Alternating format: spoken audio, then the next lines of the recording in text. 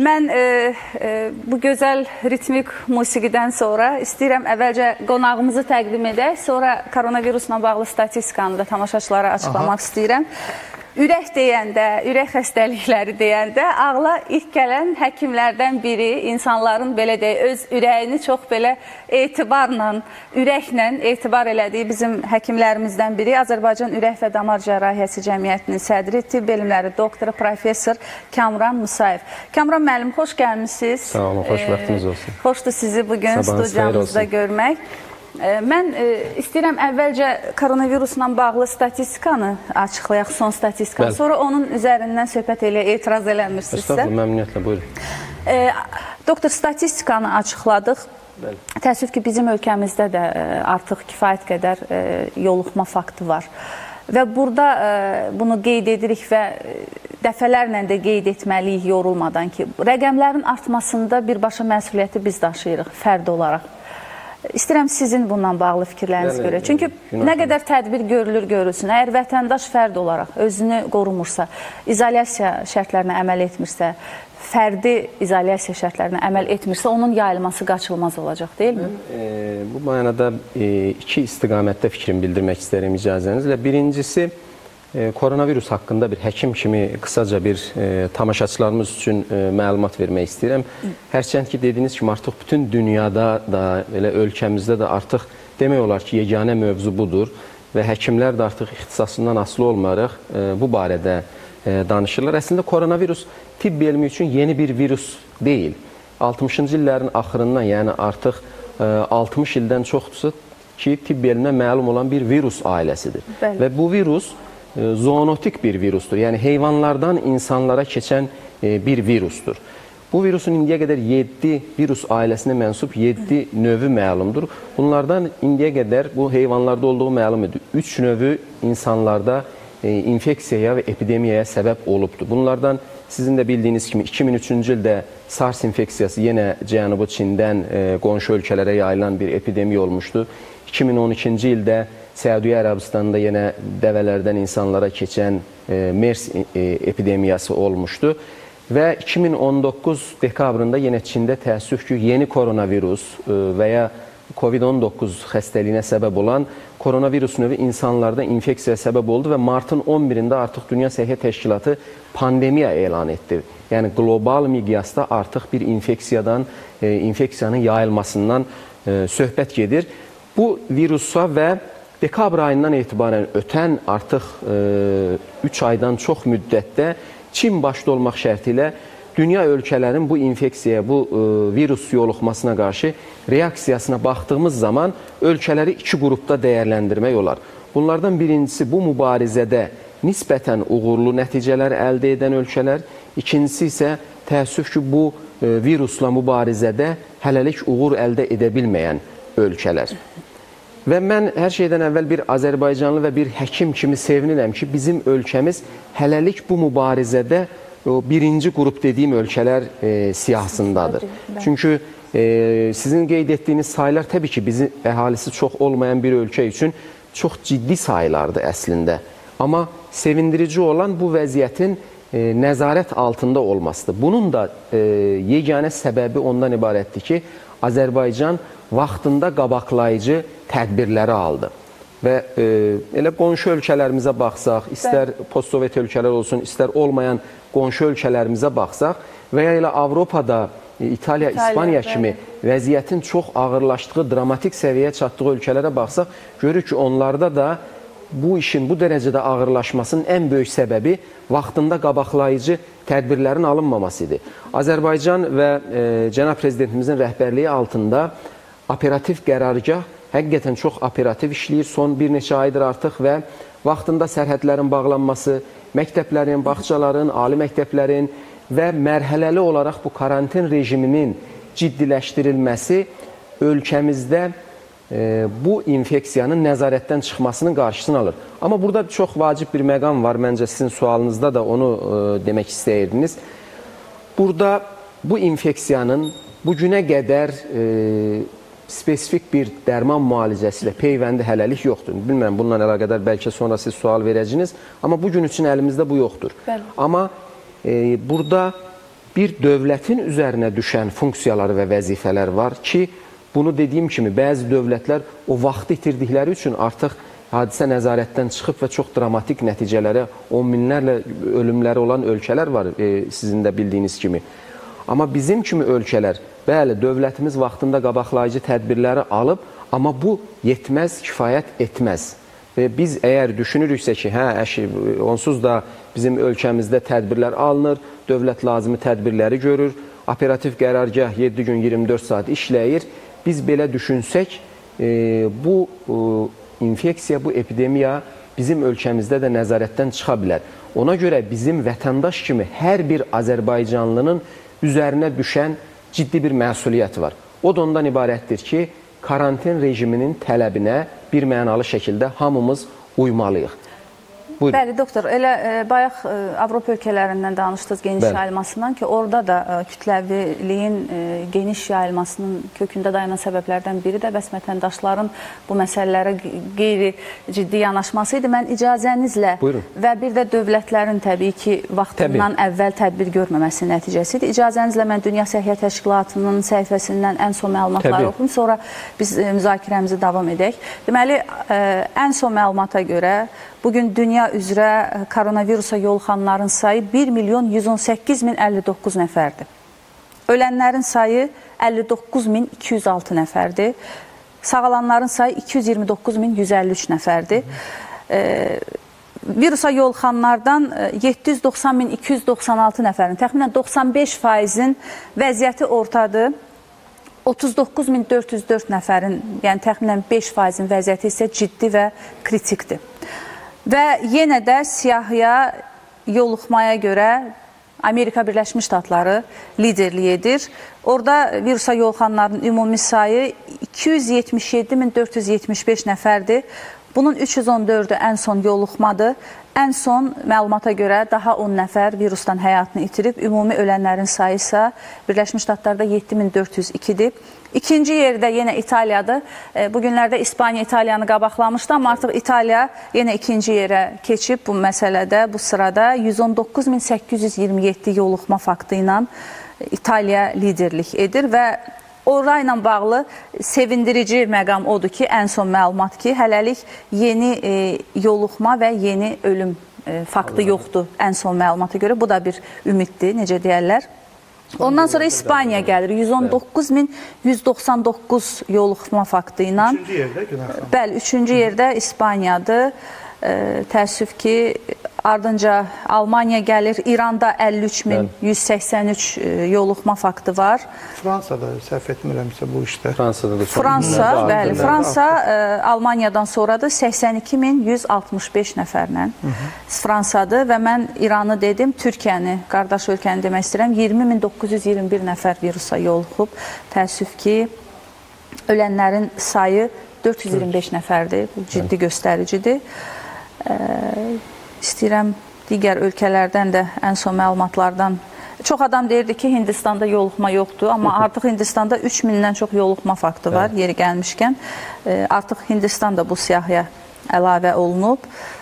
Dünyanın demək, yəni dünyanın demək olar ki, ki e, yoluxmayan artıq Yoxdur, ölkə xeyr. qalmayıb demək olar ki, bütün ölkələrdə yoluxmayan sadəcə e, Afrikada bir-iki xırda ölkə, onlar da test etmədikləri üçün. Bəli, test etmədikləri e, üçün. Bəlkə də potensial daşıyıcıdırlar. Bəlkə, Bəlkə də potensial daşıyıcıdır. Bu məsələdə əsas problemlərdən biri daşıyıcılıq məsələsidir. Bəli. O, o məqama istəyirəm. Yəni belə bir məqam var. Həkimlər də açıqlamışdılar ki, yəni insan özü yoluxmaya bilər. Ancaq ünsiyyətdə olduğu insanlara daşıyıcı kimi yoluxdula bilər və bu daha çox gənclərlə bağlıdır. Hətta mən e, Türkiyədə xəbərlərdə, kanallarda Hı -hı. izlədim ki, gənclər və uşaqlar super daşıyıcılardır sən demə. Bəli. Və artıq Türkiyədə belə bir qərar var ki, 20 yaşına qədər gənclər evdən çölə çıxmasın. Bəli. Bəzi e, bölgələrdən söhbət gedir. Dünən yəni bütün ölkə üzrə deyil təbii ki. Dünən elə bir qərar qəbul elədilər, bəli. İndi burada e, daşıyıcılıq məsələsində e, Günay xanım, əvvəla yenə e, bu virus infeksiyasına, koronavirus infeksiyasına əlaqədar artıq 4 aya yaxındır və e, Çindən, sonra artıq İtaliyadan bu barədə elmi nəşrlər də, elmi tədqiqatların nəticələri də nəşr olunmağa başlayır və e, bu görülür ki, bu infeksiyaya yoluxan insanların 80 faizi çox yüngül dərəcədə keçirir, yüngül simptomlarla, yüngül şikayətlərlə e, keçirir və bunlar sağalma ilə nəticələnir. 15 faizi e, ciddi keçirir, e, xəstəxanaya yatmaq məcburiyyətində qalır və 5 faiz də təqribən e, itirilir. O, o sizin az əvvəl e, dünya statistikasında açıqladınız. Həqiqətən orada da yenə e, 1 milyondan artıq yoluxma, 50 mindən artıq ölüm halı qeyd olunur. Bu da e, təqribən bəli 5 faiz e, radələrində bir ölüm faizidir. Hansı ki bunu da danışa bilərik orada hansı hallarda ölüm halları daha çox müşahidə olunur.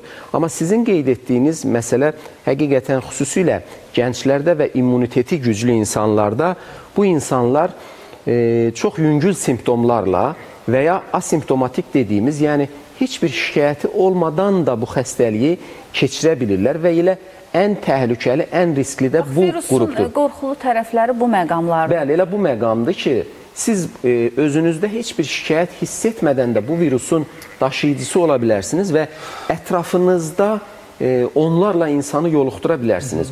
Bu virusun əslində bu qədər dünyada pandemiyaya və təlaşa səbəb olmasının e, tibbi cəhətdən yeganə bir səbəbi var. O, o da nədir bilirsiniz Günay xanım?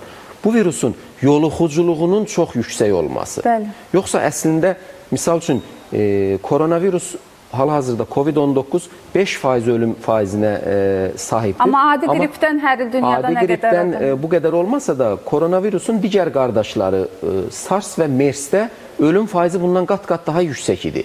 Amma niyə bu dünya bu qədər bütün dünyada pandemiya oldu və təlaş içindədir?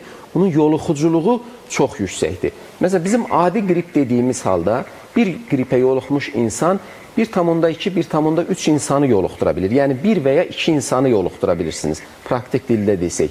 Amma artıq e, məlumatlar gəldikcə dəyişir. Bir koronavirusa yoluxmuş insan, bu istər özü bilsin və ya bilməsin, 5-6 nəfərə, hətta artıq indi məsələn Türkiyədən, qonşu ölkələrdən açıqlanan məlumatlar 20-30 nəfərə siz yoluxdura bilirsiniz. Elə karantin rejiminin tətbiq olunması və bizim onlara əməl etməyimizin o necə deyirlər, sirri də burada Bəli, yatır. doktor, elə biz ə, arxada cədvəldən də görünür. Bu cədvəldə hər saniyə yenilənir. Bəli, yəni bəli. siz deyirsiniz ki, o bir nəfər artıq ə, onlarla insanın Onlarla karantinə insanı- bəli, alınması bu indi, demək. e, Bu proses nəticələnəndə təbii ki, biz elmi cəhətdən tam məlumatları biləcəyik ki, COVID-19 30 nəfərimi yoluxdururmuş, 20 nəfərimi, 40 nəfərimi, amma bunun onlarla olduğu artıq dəqiq məlum. Yəni ə, buyur Rəşid, sualın olsa. Buyurun Rəşad. Doktor bir məqama istəyirəm aydınlıq gətirək. Söz arası söylədiniz ki, o insan özü daşıyıcı ola bilər, Bəli. amma özü yoluxmaya bilər, amma yoluxdura bilər. Yoluxdura Özündə bilər. olmayan. Bax bu necə olur? Məndə əgər yoxdursa, indi belə deyək də bir adi misal. Əgər digərlərini onu necə e, varsa keçirdirəm və məndə yoxdur bu. Yəni hər orqanizmdə bir cür özünü istəyirəm, o göstərir. immunitetlə bağlı. Bəli, bəli. Hər orqanizmdə bir cür olur, tamamilə doğrudur. Biraz əvvəl də qeyd etdim. Düşünün ki, 100 nəfər yoluxub bu mikrob. Yəni virusun var olmağı ilə xəstəlik əlaməti biraz başqa cür şeydir. Yəni 100 nəfər yoluxubsa, bu 100 nəfərin içində təqribən 30 nəfərinin heç bir şikayəti olmur. Yəni sizin sualınıza cavab olaraq deyim Rəşad bəy, yəni düşünün ki, bir insanda virus var, əslində yoluxub o virusa, amma simptomu yoxdur, yəni heç bir şikayəti yoxdur. Aha. Biraz əvvəl Günay xanım e, məlumat üçün e, tamaşaçılarımıza bildirdi.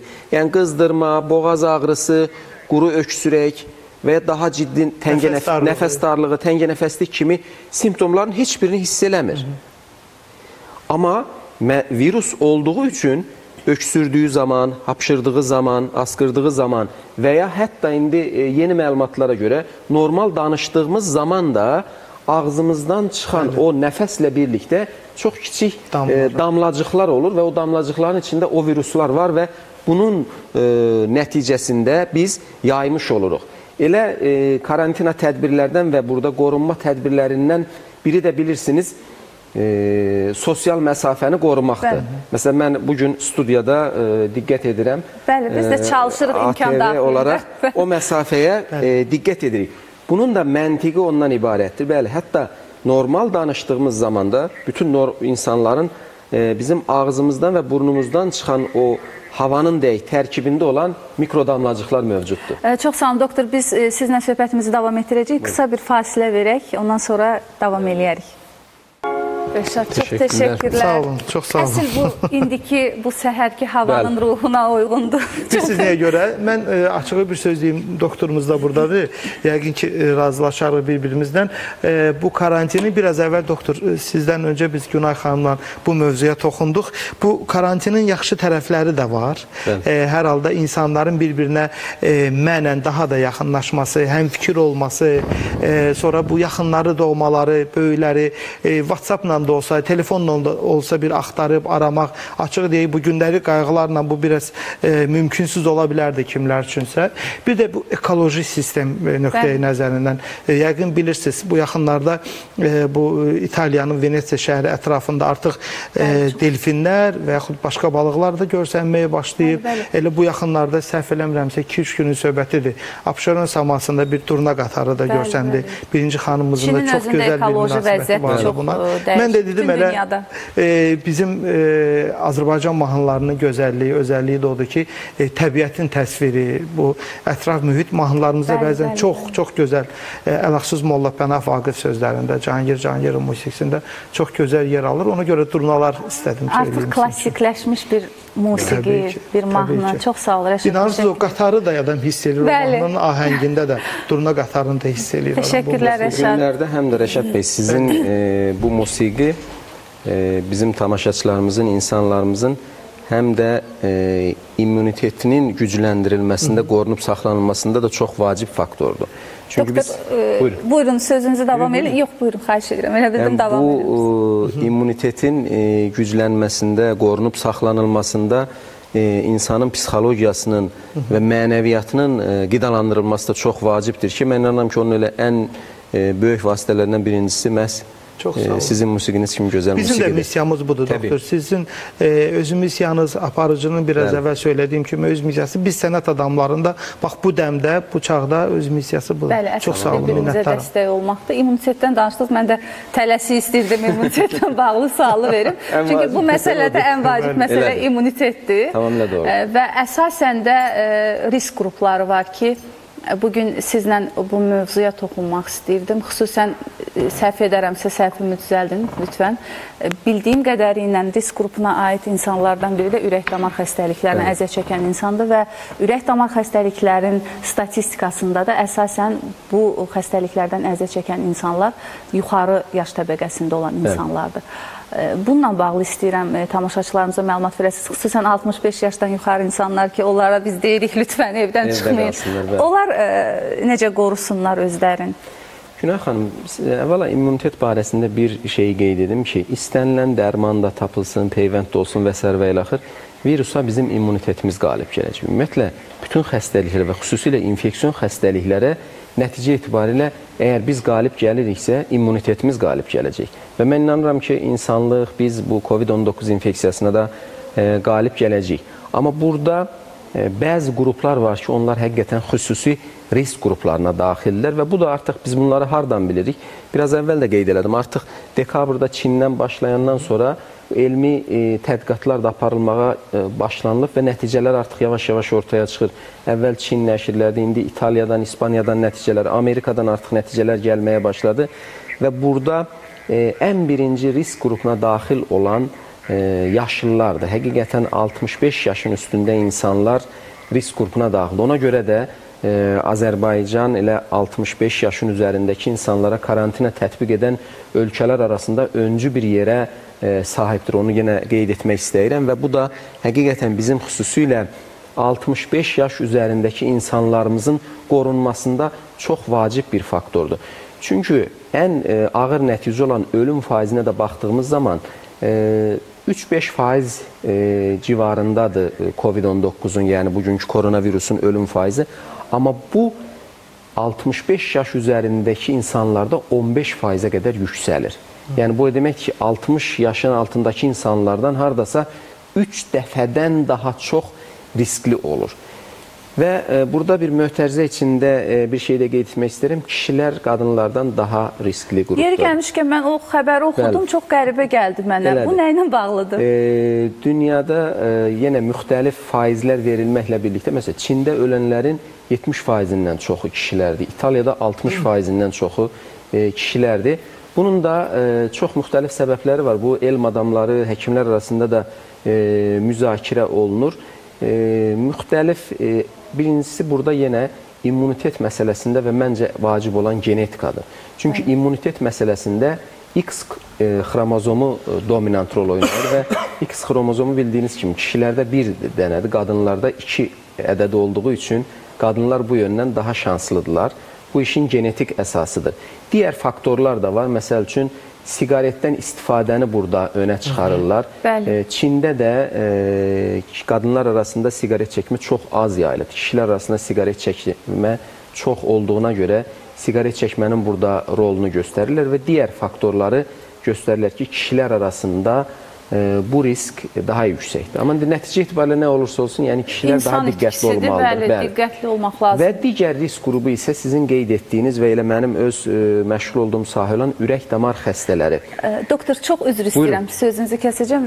Prodüserimiz xəbər eləyir ki, bir tamaşaçımız var. Təbii, təbii, buyurun. Mümkünsə onunla ə, həm söhbət olaq, sonra biz ə, davam eləyərik. Bəlkə onun da sizə hansısa bir sualı var. Ə, alo, tamaşaçımız bizə eşidir. Bəli. Sabahınız xeyir olsun. Xoş gördük sizi. Sabahınız xeyir, xoş gördük. E, zəhmət olmasa özünüzü təqdim eləyin. Güləbətin Məmmədova Məktəb Lisey kompleksinin ibtidai sinif müəllimi. Nə gözəl, bizim müəllimlərimizdəndir. Buradan alqışlayırıq bütün müəllimlərimizi. Çox. Bu günlərdə Çox ən çox əziyyət çəkən e, bizim e, peşə sahiblərindən biri. E, siz evdən yəqin ki, təhsil verməklə məşğulsuz həm də. Əlbəttə. E, Bu karantin günlərini necə keçirirsiniz? Bizə bir qısa deyin zəhmət olmasa. İlk öncə hər kəsi salamlayıram. Məktəbimizin kollektivini, direktorumuz Məlikə xanım başda olmaqla şagirdlərimi, həmkarlarımızı salamlayıram.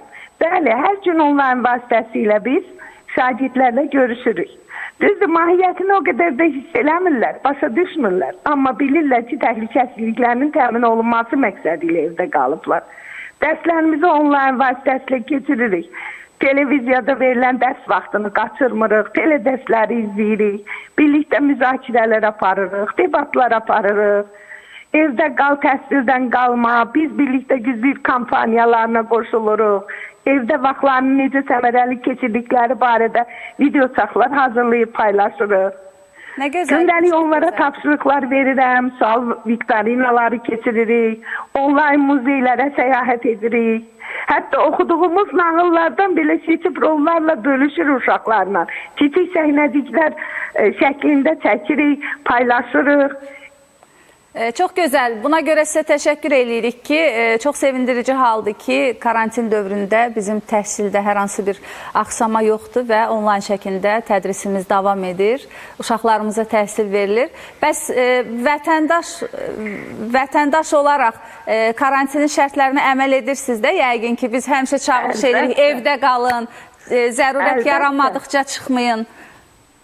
Əlbəttə. Sizin də Əlbəttə. e, Mən xahiş edəcəyik onda siz də buradan e, öz e, çağırışınızı edəsiniz həm şagirdlərinizə, e, müəllimlərə ki, onlar da evdən çıxmasınlar. Çünki evdə kifayət qədər onlar üçün maraqlı məşğuliyyətlər var yəqin ki. Bəli, bəli. Onlara tövsiyəm budur, əziz balalar. Məsafələr ola bilər. Aramızda məsafə ola bilər. Amma ürəklərimiz birdir. Bunu unutmayaq. Yenidən yan-yana gəlməyimiz üçün operativ qərargahın göstəricilərinə əməl eləyək. Əməl eləyək ki, ailəmizlə birlikdə sağlam olaq. Hər çətinliyə birlikdə qalib gəlmək olar. Bizi Çox Ürəkdən sevən ailəmiz, arxamızda dayaq olan dövlətimiz və biz birlikdə güclüyük, əziz balalar. Evdə qalsaq da təhsildən qalmayaq, vaxtımızdan səmərəli istifadə edək. Çox sağ olun, təşəkkür edirik. Doktora bir sualınız var? Yox, e, sualım yoxdur, ancaq təşəkkürüm var onlara. Biz sizə təşəkkür edirik ki, bizim balalarımıza təhsil verirsiniz e, və bu gözəl çağırışa görə də xüsusi təşəkkür edirik. Çox sağ olun, minnətdarıq. Sizə uğurlar arzuluyuruq. Günar xanım, bəzən e, çağırış eləyirik, e, müəllimimiz də oradan da əsl müəllim kimi əsasən gənclərə, öz Bəli. tələbələrinə xitab elədi e, bu fikirlə. Amma e, mən istəyirəm bir sözü deyim və ilk olaraq hələ sözümün əvvəlində evdə qalan şəxslərə, yaşından e, asılı olmayaraq, olmayaraq hər kəsə mən buradan sonsuz təşəkkürlərimi bildirirəm. E, bəzən onlar üçün çox çətin olur. Bunun Əlbəttə. fiziki çətinliyi var, mənəvi çətinliyi var, amma e, bəzi insanlara, məsələn, günəmuz çalışan insanlarımız var, az təminatlı ailələr var ki, onlar gündəlik çörək pulu qazanırlar. Bunlara maddi çox çətindir. Amma e, nə qədər çətin olsa belə, onlar əgər evdə qalırlarsa, bax bu qayda qanuna riayət edirlərsə, mən doğrudan da onların qarşısında baş əyirəm, onlara sonsuz təşəkkürümü bildirirəm. Müəyyən mənada özümüzü sıxaq. İndi e, çox istəmirəm bu mövzunun dərinliyinə varım, amma e, özümüzü bir balaca nələrdənsə təcrid eləyək, hansısa nemətlərdən təcrid eləyək, amma bu bəladan e, tezliklə qurtula Yeri bilək. gəlmişkən dövlət bunu da düşünür. Rəşad, elə bu həftə ərzində ki. Bununla bağlı e, Təbii bir ki. proqram var. Günəmuz çalışan insanlara əmək haqqı veriləcək Günay ki, xanım. yəni dövlət səni Günay xanım, düşünür, sən də özünü düşün, düşünür, evdə qal. Dövlətimiz sağ olsun, prezidentimiz sağ olsun, birinci xanımımız sağ olsun. Bax belə gözəl e, motivasiya olan fikirlərinə görə. Amma hər şeydə dövlətdən məncə gözləmək biraz o qədər də Əlbəttə. düz alınmır. Elə hər bir insanın doktor əhatəsində ola bilsin qohum əqrəbələrdə, qonşularda bacardıqca paylaşmaq, yardım eləmək müəyyən bir mənada kimin nəyə gücü çatır. O gün prezidentimiz gözəl bir söz dedi. İnsanlar var o fonda 1 manat pul keçirənlər Elə onlara var. təşəkkür Nə qədər elədi. insana toxunur ki, bu. bir manat Bəli, keçirən bəli. insanlara dedi Elə. biz təşəkkür edirik Sağ ki, onlar olsunlar. e, hansısa formada öz həmrəyliklərini nümayiş etdirirlər. Rəşad Bəy, həm elə o, cənab prezidentimizin o sizin qeyd etdiyiniz çıxışında, həm də son günlərdə əslində bir neçə e, çıxışında da bir məqamı da cənab prezidentimiz e, qeyd elədi. Bizim milli adət-ənənəmiz, milli mənəviyyatımız və milli həmrəyliyimiz. O sizin də qeyd etdiyiniz kimi, təbii ki, bu karantina tədbirləri heç birimiz üçün, heç kim üçün, yəni sosial statusundan, maddi statusundan, yaşından, cinsiyyətindən asılı olmayaraq hamımız üçün çox ciddi narahat edici e, məsələdir. Maddi cəhətdən, mənəvi cəhətdən çox ciddi narahat edici məsələdir. Amma mən bir e, həkim kimi də e, bir daha e, insanlarımıza bildirmək istəyirəm ki, həyatda qalmaq istəyiriksə bu günlərdə evdə qalmalıyıq. Yəni çünki biz davam eləməyimiz üçün bu həyata istənilən e, formada biz həyatda qalmalıyıq. Həyatda qalmaq üçün evdə qalmalıyıq. Və evdə qaldığımız zaman da e, cənab prezidentin də o çıxışında mən e, xüsusilə diqqət elədim, qeyd etdi. O bizim milli adət-ənənəmiz, milli mənəviyyatımız nəyi tələb edir bizdən? Bir, yaşlılarımıza hörmət eləyəcəyik, yaşlılarımıza qayğı ilə yanaşacağıq. Bir-birimizə o, o vitse-prezidentimizin çağırışında da var həmrəylik məsələsi. Biz bir-birimizə elə xalqımızın e, milli mənəviyyatı da bunu bizdən tələb edir. Biz həmrəy olacağıq. Eyni sizin dediyiniz kimi bir evin içində olan insanlar öz aralarında deyil sadəcə qonşularımız, yaxınlarımız, hamımız bir-birimizlə həmrəy olacağıq ki, biz bu günləri də keçirəcəyik. Ona görə e, mən inanıram ki, e, cənab prezidentin bu çağırışı tarixi bir çağırışdır və bu tarixdə qalacaq. Biz birlikdə güclüyük. Bəli. Həqiqətən biz birlikdə güclüyük və bu ə, tarixi şüar mən inanıram ki, sadəcə şüar kimi qalmayacaq. Bu tarixdə öz yerini alacaq və həqiqətən xüsusən ə, biz Azərbaycanlılar kimi xalqlar ə, bu günlərdə əsl onların milli mənəvi keyfiyyətləri önə çıxır və ona görə də bu aspektdən də baxdığımızda biz birlikdə güclüyük. Elə bu bəlanın, bu pandemiyanın da bir həll formulu kimi ortada durur. Əgər bir əlbir olsaq, biz bir-birimizə e, maddi, mənəvi dəstək versək bu günlərdə, əmin olun ki, bu günlər də keçəcək. Doktor, bayaq ə, risk qrupuna aid ə, bizim insanlardan Bəli. danışdıq. Ə, İstəyirəm onu davam edək. ə, Fikirləriniz ə, yardımcı burada qalsın. yaşlıları və kişiləri qeyd etdikdən sonra digər ən böyük risk qrupu Günay xanım, təəssüf ki, ürək damar e, xəstələridir. Mən buradan elə fürsətdən istifadə edib e, öz e, xəstələrimizə, ümumiyyətlə ürək damar problemi olan insanlara da müraciət etmək istəyirəm ki, bəli, bu insanlarda e, risk daha yüksəkdir. O biraz əvvəl yenə qeyd etdim, bir 3-5% bir risk var, amma yaşından asılı olmayaraq, əgər sizdə ürək damar problemi varsa, e, son nəşrlərdə, tədqiqatlarda görünür ki, bu risk 10%-dən yuxarı qalxır. Yəni siz əgər sizdə ürək damar problemi var isə, olmayan insanlara görə 2 qat daha artıq risk daşıyırsınız. Və burada bunun da səbəbi nədir? Bunun e, birinci səbəbi siz də qeyd etdiniz. Ümumiyyətlə ürək-damar xəstəliyi olan insanlar daha çox yaşlı insanlardır. Yəni bunlar yaşlı populyasiyanın nümayəndələridir. Elə buna görə də yaşlılar da niyə risk altındadır onu deyəsən qeyd etmədim. İcazənizlə onu da qeyd edim. Burada da yenə o sehirli kəlmə gündəliyə gəlir, immunitet məsələsi. Biz yaşlandıqca, insan övladı yaşlandıqca bütün orqan və sistemlərimiz zəifləyir, ən başda da immunitetimiz zəifləyir. Ona görə yaşlı insanlar e, daha gənclərə görə daha asan yoluxurlar və çox təəssüf ki, daha ağır keçirirlər. Doktor, mən sizdən xahiş edəcəm ki, e, bizim bu risk qrupuna aid insanlar özlərini necə aparsınlar, hansı tədbirlər görsünlər, bu barədə məlumat verəsiz, tövsiyə verəsiz, amma bir qədər sonra, kiçik bir fasilədən sonra. İstəyirəm e, doktor söhbətimizə elə həmən başlayaq vaxt itirmədən. E, fasilədən əvvəl e, danışdıq risk qrupuna aid insanlardan. Təəssüf ki, ürək-damar sistemi xəstəliklərdən əziyyət çəkən insanlardan söhbət Bəli. gedirsə, artıq burada yaş da e, rol oynamır. Yəni istənilən yaşda adam bu virusdan qorunmaqda çox diqqətli olmalıdır. Tövsiyələriniz nədir? E, istər ürək-damar e, xəstələri olsun, istər digər risk qrupunda olan e, xəstələr olsun, bunlar ümumi e, birincisi ümumi tövsiyələrə uymalıdırlar. Ümumi tövsiyələr də nədir? Bunların e, birinci prinsip həqiqətən e, çox tibbi görünməyə bilər, amma birinci prinsipimiz evdə qal prinsipidir. Evdə qal prinsipi yəni sosial izolyasiya olmalıdır. Bu virusun biz yayılmasının qarşısını almaq üçün, bizim xəstələnməyimizin qarşısını almaq üçün biz özümüz özümüzü izolyasiya eləməliyik. Əslində karantin tədbirlərinə də ehtiyac qalmadan biz e, insanlarımızı maarifləndirərək əslində biz bunu əldə etməli idik. Bəli. Bu cür e, proqramlar e, sizin kimi media nümayəndələrinin köməkliyi ilə həkimlər, tibb işçiləri insanları maarifləndirməlidirlər və insanlar başa düşməlidirlər ki, bu gün üçün bu virusa qarşı insanlığın əlində olan ən böyük silah bu sosial izolyasiya, sosial təcrid dediyimiz evdə qal hadisəsidir evdə qalmaqla biz həm özümüzü, həm ətrafımızı, millətimizi, dövlətimizi qorumuş oluruq. İkinci prinsip isə mənim e, tövsiyəm şəxsi gigiyena qaydalarına riayət etməkdir. Bəli. Və burada da yenə ən ümdə məsələ əllərimizin yuyulmasıdır. Amma necə yuyulmaq? Burada mən öz ətrafımda da görürəm çox insan e, elə zənn edir ki, əlini yuyur və doğruyur. Bəli. Halbuki belə deyil. Hətta mən e, sosial mediada da paylaşmışdım. Siz də çox aktivsiniz sosial mediada. E, əllərin necə yuyulma qaydası var.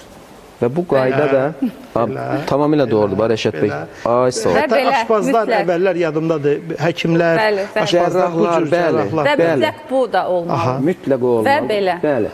Bunu ay sağ ol. O hərəkətlər indi e, keşkə vaxt olsa, bəli, imkan göstər. olsaydı burada göstərə də bilərdik. İnşallah növbəti proqramlarının birində onları əslində göstərmək lazımdır, amma e, sosial mediada, internetdə elə bizim operativ qərargahın e, saytlarında, sosial mediada paylaşımlarında bəli, bəli, video çarxlar da e, məsələn mənim özüm e, ötən həftə sosial e, media hesabından paylaşmışdım. E, bir e, çox əyani olaraq göstərir. Qara rəngli bir kremlə bəli, əllərimizi yuyuruq və onda biz normal qaydada yuyanda nə qədər hissəyə heç onun toxunmadığını görürük. Bəli. Halbuki sabunla yuduğumuzda biz elə eləməliyik ki, biləklərimiz də daxil olmaq şərti ilə bütün nahiyələr Hı -hı. ən az 20 saniyə o sabunla Aha. yuyulmalıdır. Sabun o bayaq e, danışdığımız bizim e, məşhur e, virusun quruluşunu pozur. Onun ətrafında olan o yağ təbəqəsini, glikoprotein təbəqəsini dağıdır və beləliklə virus ölür. Bunu biz e, mütləq və mütləq e, etməliyik. Çünki bunu etmədən biz oturub hansısa dərman, peyvənd və s. gözləsək bu yoluxma davam edəcək. Doktor, yeri gəlmişkən e, əllərin yuyulması və s. danışdıq. Ən çox bizə ə, e, suallar verirlər tamaşaçılar. Mən üzük taxa bilərəm, saat taxa bilərəm. İndi bizim onunla bağlı bir sujetimiz var. Bəli. Ə, e, zinət əşyalarını necə dezinfeksiya eləmək. Ona baxaq qısa bir sujetdə, sonra, sonra sizlə yekunlaşdırıb sizin olacaq. sözlərinizdən. Bəli. Bəli. Sonra sizi biraz çox yorduq, bağışlayın. Sujetdən sonra bir sualımız da olacaq, sonra sağollaşarıq. Buyurun izləyək.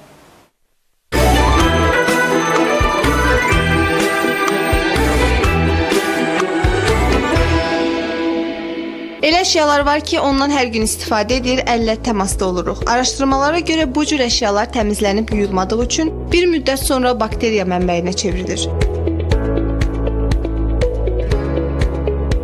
Statistikaya görə ən çox əllə təmasda olduğumuz vasitələr sırasında ilk pillədə mobil telefonlar durur. Demək olar ki, hər dəqiqə əlimizdə olan mobil telefonlar mütəmadi təmizlənməsə, üzərinə yığılan bakteriyalar müxtəlif xəstəliklərin yaranmasına gətirib çıxara bilər. Bəs bu ayrılmaz aksesuarımızı necə təmizləməliyik? Mütəxəssislər deyir ki, telefonları xüsusi dezinfeksiya edici məhlullarla davamlı şəkildə silə bilərik. Su və ya bu kimi başqa məhlullarla telefonu zədələməmək üçün təmizlik zamanı kifayət qədər diqqətli olmaq lazımdır. Gündəlik istifadə etdiyimiz digər aksesuarlar sırasında pulqabı da mühüm yer tutur. Onu spirt və ya dezinfeksiya edici məhlullarla təmizləmək daha məqsədə uyğun hesab olunur. Açar da daim cibdə və ya çantada olan əşyalar sırasındadır. Gündə ən az bir dəfə olmaqla açarların təmizlənməsi zəruridir. Aksesuar həvəskarları belə məqamlarda xüsusi diqqətli olmalıdırlar. Çünki davamlı olaraq istifadə etdiyimiz bu əşyalara müxtəlif bakteriyalar toplaşa bilər. Gündəlik bəzək kimi istifadə etdiyimiz aksesuarları da davamlı dezinfeksiya edici məhlullarla təmizləməyiniz tövsiyə olunur.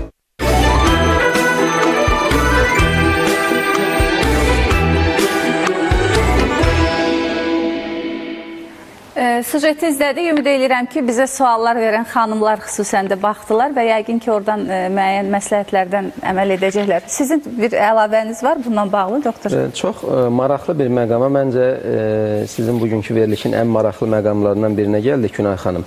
Elə bu əllərin yuyulması məsələsində mən heç də ə, biraz əvvəl əllərin yuyulmasının öz qaydası var və bu ciddi bir tibbi e, proseduradır və e, tip tarixinə baxdığınız zaman sizə maraqlı bir məlumat da verim. E, 1847-ci də ilk dəfə bir e, Macar əsilli bir Avstriyalı həkim təklif edib ki, bu əlləri yumaq lazımdır. Bu e, ginekoloq həkim olubdu. Bu doğuşdan sonra qadınların ölüm faizini azaltmaq üçün və o zamanlar e, heç kim buna etibar eləməyib və adamı bunu təklif edən o e, doktor Semmelweis-i ən axırda ə, psixiatrik xəstəxanaya yatırıblar və orada da döyərək öldürüblər ki, sən bu dediyin doğru şey deyil. Tibbi cəhətdən bu dərəcədə keçmiş tarixi olan və faydalı bir məsələdir və bunlardan vacib bir məqamı da yenə mən biraz əvvəl qaydaları ə, izah etməyə çalışanda dedim ki, əl biləkləriniz də daxil olmaq şərti ilə yuyacınız və e, diqqət edin mən e, saat da daxil olmaq şərti ilə son hardasa artıq 2 həftədən çoxdur heç bir şey istifadə eləmirəm və xüsusilə həm kişilərə, həm də e, xanımlara e, əl biləklərində xüsusilə e, müxtəlif e, qol bağlardan, saatlardan istifadə edən xanımlara Aksesuarlardan, aksesuarlardan bəli istifadə edən istifadə etməyə, nəyə görə etməyə? Siz çox gözəl bir maarifləndirici videoçaq təqdim elədiniz. Həqiqətən ümumiyyətlə birincisi mən məsləhət görərdim ki, bu günlərdə xanımlarımız başda olmaq şəkildə bu cür zinət əşyalarından mümkün olduğu qədər uzaq. çox istifadə etmək, uzaq duraq. Çünki bildiyiniz kimi virus o səthlərdə qalaraq da yoluxur. Həm bizim... də evdə ehtiyac yoxdur. Bəli. Evdə idi biz. Bəli, bəli. Və e, bir də biz e, xüsusilə əl biləyi məsələlərimizdə oraları yuyub təmizlədikdən sonra istər-istəməz saatlı, qolbağda o cür aksesuarların üzərində yenə də qalır, qalma ehtimalı Çox. var. O zinət əşyalarını sizin söylədiyiniz doğrudur. Əgər mütləq ki, istifadə etməliyimdir xanımlar üçün. Bəzən vaz keçilməz ola bilər. Mən hörmət edirəm, bir şey demirəm, amma onda da sizin video çarxda olduğu kimi mütləq dezinfeksiya edici məhlullardan istifadə etmək şərtdir. Çox sağ olun doktor. E, sizin vaxtınızı çox almaq istəmirik. Çox sağ olun ki, bu saata qədər, bu dəqiqələrə qədər. Bu arada mən interaktiv cədvələ baxıram. Bax Günah xanım, Fransa öndədir artıq. Bəli, bəli. Sonra Amerika, orada, sonra bəli. İtaliya. Bu rəqəmlər hər dəqiqə dəyişir. Bəli, rəqəmlər hər an dəyişir və biz e, verilişimizin sonuna yaxın bir də tanış olacaq. 1 milyon 118 min 305 artıq yoluxma faktı var. halları 60 minə yaxınlaşır. Bəli, 59 mindən artıqdır, 60 minə yaxınlaşır. Çox təəssüf ki, ona görə diqqətli olun və bu məqamda doktor sizin e, insanlara çağırışınızın yeri e, Mənim gəldi çatır. e, çağırışım e, ondan ibarətdir ki, biz hamımız bu günlərdə iki prinsipi e, ağlımızdan, beynimizdən heç bir zaman çıxartmamalıyıq. Bunlardan birincisi evdə qal, həyatda qal prinsipi və evdə qalanda biraz əvvəl siz də qeyd etdiniz, Rəşad bəy də qeyd etdi. Müxtəlif e, vasitələrlə biz həyatı evə sığdırmaq e, məcburiyyətindəyik bu günlərdə. Bu kitabla qalmaqla olur, musiqi ilə qalmaqla ola bilər, sevdiklərimizlə biz həyatı evə sığdırmalıyıq, evdə qalmalıyıq Və ikinci e, prinsip də biz birlikdə güclüyük. Mən e, biraz əvvəl də e, qeyd etdim, e, cənab prezidentimizin və vitse-prezidentimizin çağırışı tamamilə bizim milli mənəvi dəyərlərimizə, milli e, mənəviyyatımıza və adət-ənənələrimizə uyğun bir prinsipdir və mən inanıram ki, biz hamımız birlikdə əl-ələ verərək, həmrəy olaraq biz bu e, düşmənə də qalib gələcəyik. Çünki biz birlikdə güclüyük. Çox sağ olun doktor, e, təşəkkür edirik və mən bir daha bizə yeni qoşulan tamaşaçıları xatırlatmaq istəyirəm ki, bizlə efirdə qonağımız, həmsöhbətimiz Azərbaycan Ürək və Damar Cərrahiyyəsi Cəmiyyətinin sədri, tibb elmləri doktor, professor Kamran Musayev idi. Doktora təşəkkür edirik, gəldi, dəyərli fikirlərini. Dəvət etdiyiniz üçün mən sizə sağ təşəkkür edirəm. Bəli, həqiqətən son olaraq bir məqamı da qeyd edim Günay xanım icazənizlə. Bu e, virusla belə deyim dırnaq arası müharibədə bu gün bütün dünyada da, ölkəmizdə də səhiyyə işçiləri ön cəbhədədirlər. Əskər kimi e, mübarizə aparırlar. Və mən bir Azərbaycanlı həkim kimi çox sevinirəm ki, e, dövlətimiz, e, başda dövlət başçımız olmaq şərtindən bu həkimlərin, səhiyyə işçilərinin bu əməyi yüksək səviyyədə qiymətləndirilir və elə bu bizim üçün də ən böyük motivasiya qaynağıdır. Buradan da mən fürsətdən istifadə edilərək mən də öz adımdan da ön cəbhədə vuruşan səhiyyə işçilərinin hamısına, hamımıza uğurlar arzulayıram. Biz də bu ön cəbhənin bir üzvü kimi sizə və bütün həkimlərə təşəkkür edirik və sizin çağırışınıza söz ardı olaraq, dəstək olaraq bir video çarx var. Asan Xidmətin hazırladığı onu izləyək, sonra efirimiz davam edəcək. Mən təşəkkür